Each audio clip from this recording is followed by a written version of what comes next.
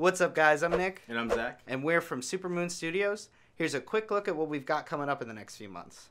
So, first off, we have a little production called Up North, something that we had written last summer and finally got around to filming.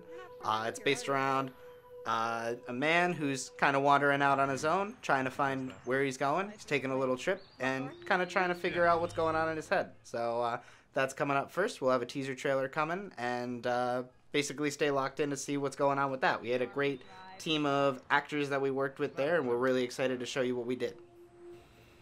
And next up, coming after that, is 790 AM, a short film that's inspired by 80s horror and sci fi and uh, my love for alien conspiracy theories.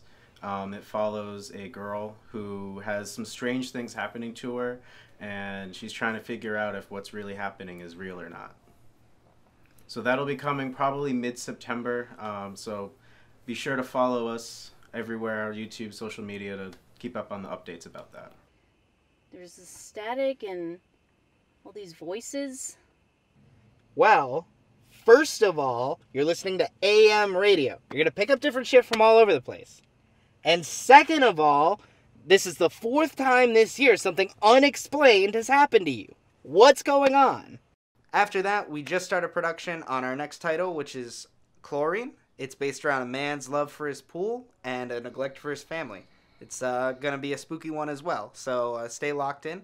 Follow us on social media. Check out our, our YouTube channel. Like, subscribe, share everything we do if you can, please. And uh, find us on Patreon. The link will be down in the description. Thank you, guys.